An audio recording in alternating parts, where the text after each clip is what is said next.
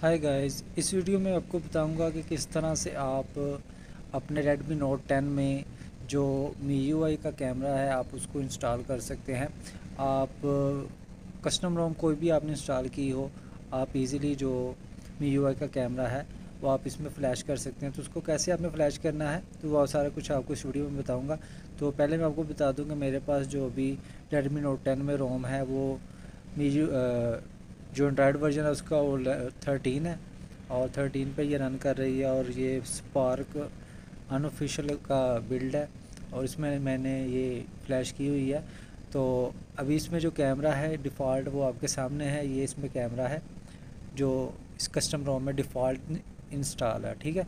तो अब हमने क्या करना है, जो इसमें मीओ का कैमरा है, वो हमने इंस्टॉल करना है। तो उसके लिए मीओ के कैमरे को इंस्टॉल करने के लिए ज़रूरी है कि आपका मोबाइल जो है वो रूटेड होना चाहिए। आपका रेडमी नोट टेन जो है वो उसमें मैजिस जो है वो इंस्टॉल होना चाहिए। तो तभी ये जो मीओ का कैमरा है वो इसमें वर्क करेगा। तो करना क्या है आपने?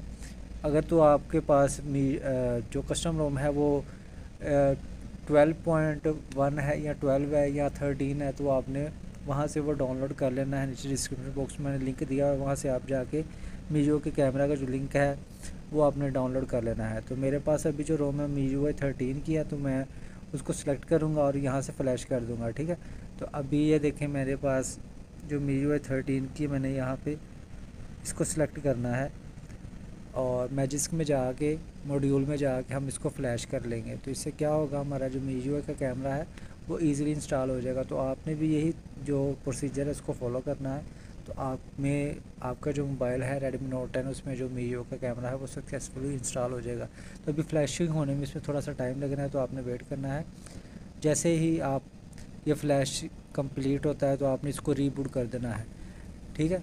रीबूट करने से क्या होगा, जो हमारा कस्टम रोम का डिफ़ॉल्ट कैमरा है, वो भी इसमें इंस्टॉल रहेगा। उसके बाद जो हमने अभी मैं जिसके ज़रिए मीजो का कैमरा फ्लैश किया है, वो भी इसमें इंस्टॉल हो जाएगा, ठीक है? तो यहाँ पे जो मेरा मोबाइल है, वो रीबूट हो रहा है। तो रीबूट होने के बाद मैं आपको दिखा देता हूँ कि मेरे मोबाइल में जो मीजो का कैमरा है, वो इंस्टॉल हुआ है या नहीं। तो ये हमारी जो रोम है, वो अब चल गई है, ठीक है? अब हम जाते हैं कैमरे में तो जैसा कि आप अभी देख सकते हैं, हमारा डिफ़ॉल्ट कैमरा इसमें ये रहा डिफ़ॉल्ट कैमरा हमारा ये हमारा मीजियो का कैमरा इसमें इंस्टॉल हो चुका है। तो चलिए अब देखते हैं कि ये कैमरा वर्क करता है या नहीं। तो आपने इसको ओपन कर लेना है। उसके बाद आपने जो भी परमिशन है, आपने उनको अलाउ कर देना है।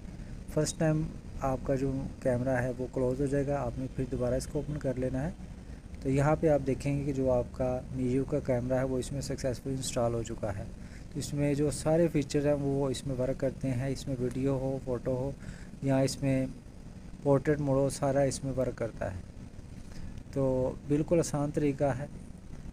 तो आज की वीडियो में बस इतना ही था। अगर वीडियो अच्छी लगी हो तो काइंडली मेरे चैनल को लाइक शेयर सब्सक्राइब ज़रूर कीजिएगा।